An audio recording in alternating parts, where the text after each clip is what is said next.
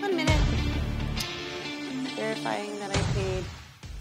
I'm Lynne Greenaway, photographic artist. I'm from Canada. I moved here to the Netherlands in 2009.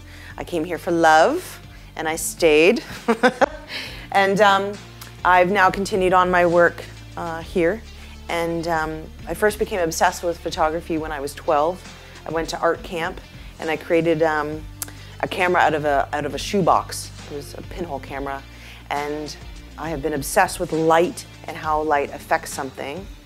And, um, and that's, that's how I've come to shoot what I do. It's high contrast lighting and how that falls or how light falls upon the shape of a face or a body. And, um, and I'm still obsessed. So this is one of the pictures that's, um, that's at the Schauberg. This is one of that series. Here's another one. There's another one. And this actually, the portrait that's there, um, I had removed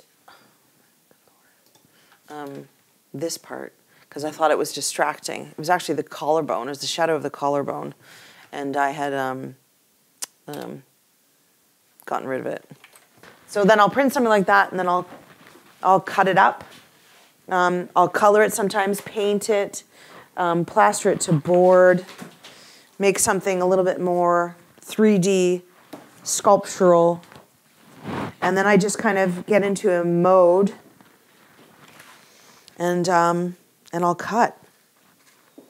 And I think the past few years, my goal has been to create something um, 3D sculptural, so that it's not just a flat wall image, that it's so linear, but something that is that has shape and life to it, something that pops off of the wood or canvas. I started off doing um, images and then tearing up the images and putting them onto canvases, but they were it was still flat, but it had structure to it. And then since that phase of my work, I've now come to um, wanting something a little bit more structural, like a like a like a like a sculpture that goes on a wall. Yeah, most of my work is is it's portrait or nude based, and um, and uh, focuses mostly on women and I want to say women's issues. That sounds so old school, but um, yeah, issues that surround women and gender and identity and things like that. Yes, I, I have shot men as well, but my focus is on women because I am a woman. And um, this is some of my previous stuff here.